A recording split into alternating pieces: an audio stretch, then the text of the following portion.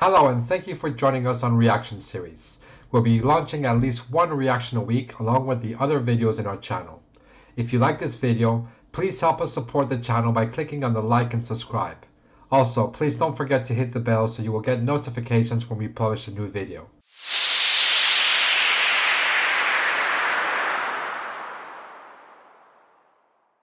Well, hello again. Um, so, welcome back to one of our reaction series. Uh, since we just had Father's Day just a few days ago, so three days to be exact, I thought it would be appropriate to see some proper parenting happening in the US. Now, this is from Dr. Phil, season 19. So I presume it's a semi-oldish video. I think it could be from last year but I think it's quite appropriate for what we're going to talk today about. So, as you can see, the title suggests that the father admits sending pregnant daughter money for heroin. Now, I'm not a parent and I don't consider myself an expert in this, but something tells me that something awfully wrong is going on. Alright, let's put the video and let's see what happens. I haven't seen my daughter Teresa in three years. The only time I hear from her is text. It is, hi daddy, I love you, send me money. Over the years, Barry and I have given Teresa over $50,000. I know. $50,000. Well, over the years, is that 10 years, 3 years, 2 years? I don't know. I wish my parents would give you half of that. No, I'm a world-class enabler. I've been sending Teresa money ever since she started using heroin. He's still giving her money. I send her about... Hold on. So, he has been giving her money ever since she's been starting using heroin. Okay? So, does that mean that he knows that she's using heroin? Or at least, did he know she was using it back then? About $150 a week. Barry parents out of guilt, and he's given Teresa money because of not being there when she was a child. I've paid for Teresa's rent, clothes, jewelry. The rare time I would say no, she would text me back and say, Daddy, I need cigarettes and I need some food. I would send her money. But deep down inside, I knew it was for heroin. There's no Deep down inside, he knew it was for heroin. So why the are you giving her money for drugs, huh? No doubt in my mind that Barry is funding her addiction. He sends Teresa a weekly allowance. I show Teresa my love and affection for her by taking her to have a hot meal or inviting her into my home to take a shower and get a good night's sleep. Barry shows his love for his daughter by sending her money. Barry consumed large quantities of alcohol. When I got pregnant, I stopped, but he continued to use cocaine, drinking, then ecstasy. I was married. Well, he's a role model, isn't he? So he was using all those drugs. Uh, I guess that explains why he's helping his daughter, sorry, his pregnant daughter for drugs as well. You know, runs in the family, I guess approximately five years and we got divorced because I found out he was having multiple affairs. I blame Barry for Teresa's addiction because of his lifestyle. When Teresa has her baby, I'm hoping Teresa is clean. If Teresa's not clean, I'm hoping I can take the baby home. I heard Dr. Phil say once, the definition of parenting is sacrifice, and I'm willing to do that.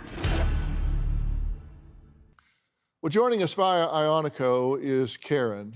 Uh, Karin, thank you for joining us today. You realize that this. Well, she put on some makeup on at least. baby is going to be born uh, addicted to drugs, correct? Yes, yes. And um, what do you think should happen with this baby when it's born? Well, I'd like to take care of it if she isn't clean and sober. Barry, she said you're actually funding this addiction. I, is that true?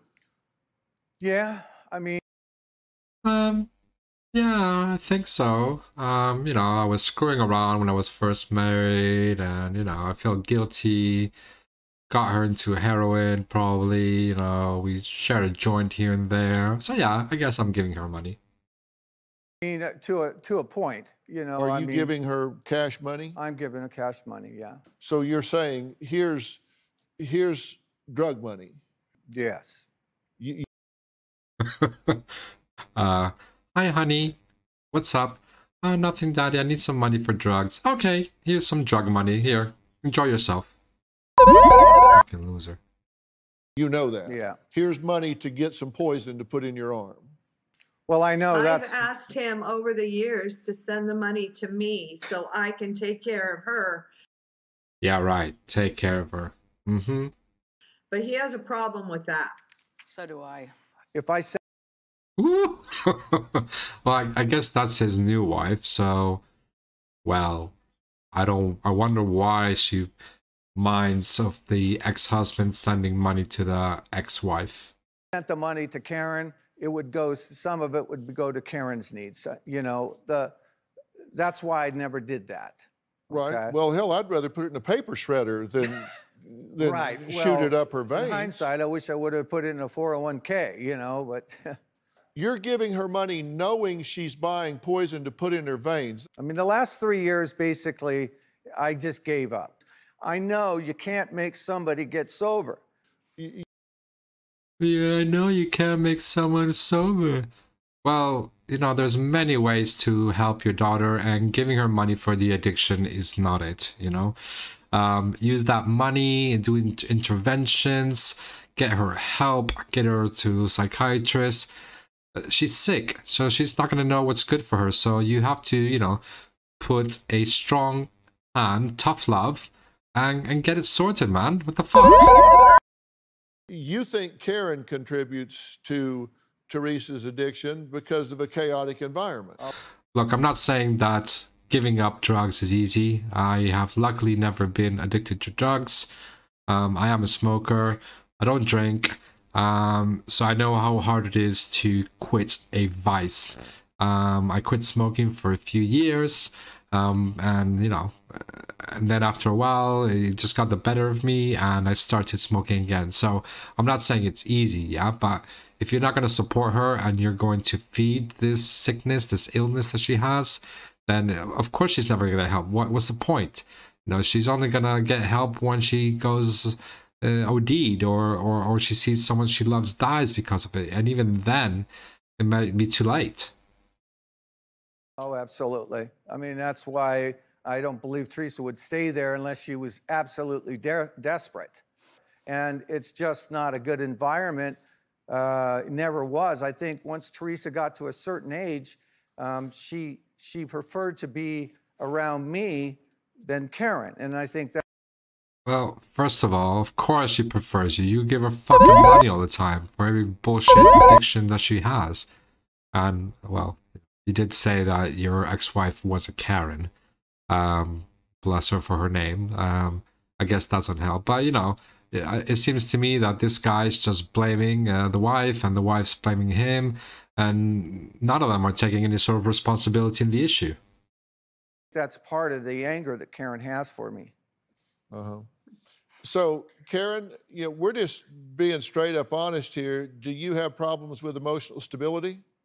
I do have a very bad temper, uh, especially when it comes to my. No, I didn't ask if you had a bad temper. I asked if you were fucked up in the head. my children, if anybody is not treating them with respect, I will defend them to the hilt. Uh, well, that's not very, what I asked you. That- let, let- let- let me tell you something. I, I'm interested in this baby's well being, and I'm not interested in you guys having a turf war or an ego battle. I'm interested in who will be honest with me. And you're smart enough to know do you have problems with emotional stability? And you can spin that into a humble brag where you say, well, Yes. I, I, I fight for my children if I think they're under. That's not the question I ask. I ask you, do you have problems with emotional stability? Yes, I do. Do you have a Well, you know, this was just a short version of the video. Um, I'm kind of eager to watch the rest, but the full video is over half an hour, so I thought that would be a very long one. But you know, you may like Dr. Phil or not, but he is vicious and he loves his ratings. So the way he went against Karin and asked her, "You fucked up in the head," it's like, no, mate, it's not what I asked.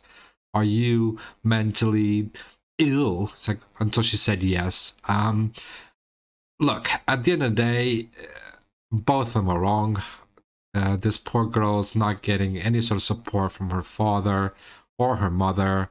Um, she's probably, you know, there's probably a lot of things that we don't know in the background.